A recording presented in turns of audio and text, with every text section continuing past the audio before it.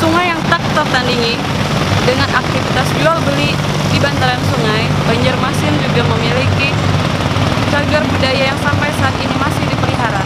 Satu di antaranya rumah adat Banjar.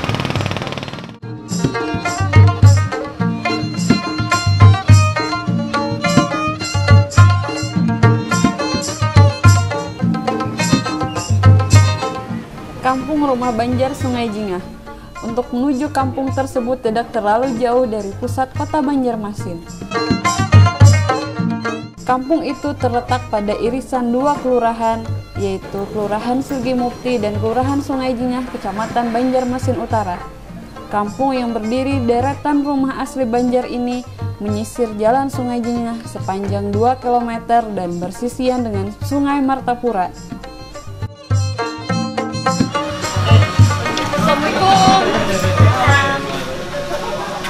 Ini bukan rumahnya Ibu Nafisa. Iya iya iya. Oh iya. Saya Miona, Bu, wartawan Banjarmasin Post. Oh iya. Bu, kita duduk sini aja deh, Bu. Ibu, mau tanya nih, Bu. Ini rumah apa nih, Bu? Ini jenis bangun gudang. Oh, jenis bangun. Itu bangun gudang itu eh, bahannya dari bahan apa nih? Kayu apa nih? Ini ini kayu ulin. Iya. Ya, kayu ulin sirap kayu ulin. Kalau bangun gudang itu eh, ciri karakteristiknya kayak gimana nih spesialnya mungkin Bu dari jenis lain rumah Ya, Banjar? rumah Banjar ini kan spesialnya tinggi, eh, jendelanya besar, jadi udara tuh masuk enak.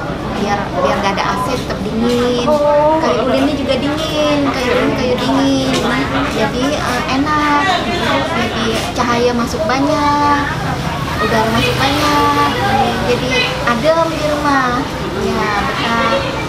Kalau ini dari awal pembangunannya sampai sekarang pernah direnovasi ya? Oh, nggak ada pernah, nggak Oh, pernah. ini dari ini dulu? dari awal dari 1925 asli. Iya, Ini rumah dari siapa nih dari? dari kakek saya. Oh iya. Kalau ibunya sudah sudah berapa lama? Saya lahir di sini. Oh lahir di sini. Iya, besar di sini. Oh iya. Kalau perawatannya nih bu kayak gimana? Perawatannya ya seperti biasa. Kita perhatikan pada atapnya aja. Kalau ada atap yang miris langsung kita langsung kita perbaiki. Soalnya kalau atap miris, kalau kita biarkan yang lainnya akan hancur. Ada perhatian nggak sih bu dari pemerintah untuk rumah yang seperti ini? Pemerintah sering sering sih anu ada mendata gitu, tapi ya sekedar sekedar mendata. Oh, tidak ada Iya. bantuan gitu bu atau gimana? Dulu ada bantuan dari Brimob pas Oh. ulang tahun Brimob Heeh. di di di, di chat. Iya. Kalau sekarang Sekarang nggak ada. kenapa nih bu kok masih dipertahankan nih rumahnya nggak direnovasi atau kayak gimana? Ah, ini kan peninggalan dari kakek saya. Saya generasi ketiga, amanat dari ibu saya. Rumah ini dipelihara.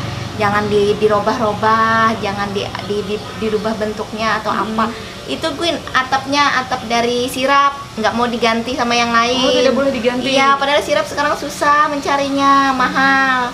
Tapi tetap kami pertahankan. Bu, ini boleh masuk buat bed. Oh iya, silakan, silakan.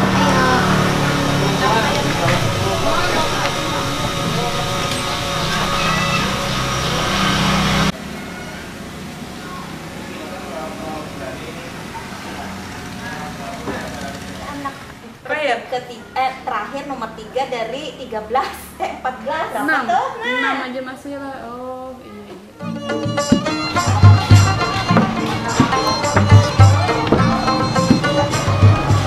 Seharusnya pemerintah serius menangani kampung ini dan menjadikannya sebagai kota tua, kota pusaka atau desa wisata.